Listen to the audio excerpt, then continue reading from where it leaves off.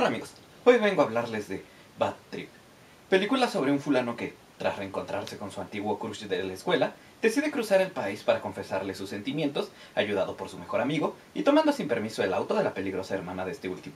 En sí es una anécdota sencilla, estructurada de manera similar a parte del trabajo de Sasha Baron Cohen o Johnny Knoxville, en el sentido de que, si bien los cuatro actores que interpretan a los personajes principales trabajan con un guion, el resto del elenco, por decirlo así, está conformado por transeúntes despistados grabados con cámara escondida y cuyas reacciones, a veces de complicidad, a veces de horror y en una ocasión particular de enojo genuino, son la otra parte del factor humorístico, muy en la línea tanto de los ejemplos antes mencionados, así como del show del propio Eric Andre ya que, de hecho, el director de algunos episodios de ese programa, Kitao Sakurai, también dirigió esta película y puede que por lo mismo ya tengan alguna idea sobre qué esperar, pero si no es su caso, he de advertir que Bad Trip, pese a ser un producto hecho con buena fe,